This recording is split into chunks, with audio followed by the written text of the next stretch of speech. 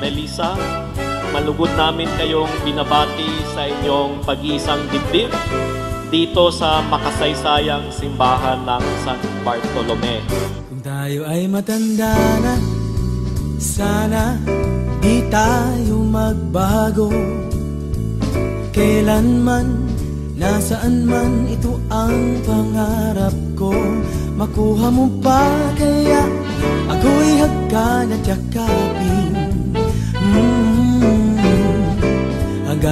pagtanda natin. Nagtatanong lang sa'yo Nagulat akong ikakasal ka na pala. Maswerte ka at nahanap mo, Melissa, na makakasama mo na buhay. buhok ko.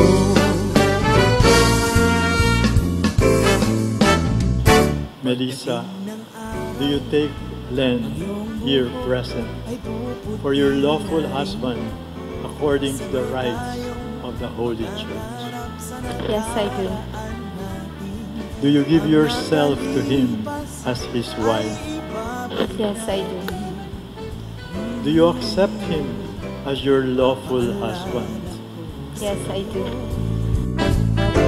Ang aking pangako Na ang pag-ibig ko'y lagi sa'yo Kahit maputi na ang buhok ko Len, do you take Melissa here present for your lawful wife according to the rites of our Holy Church? Yes, I do. Do you give yourselves to her as her husband? Yes, I do. Do you accept her as your lawful wife? Yes, I do.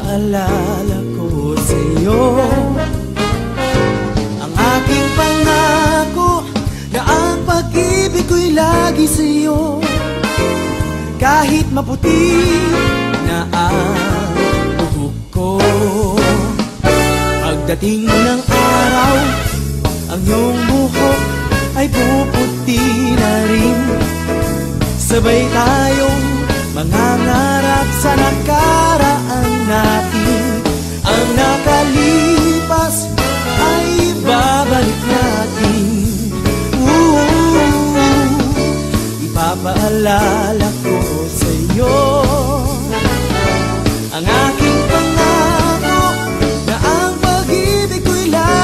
iyo Kahit maputi na ang buhok ko.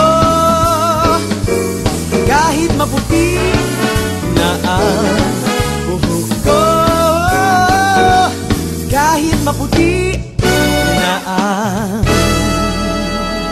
now officially proclaim them as husband and wife.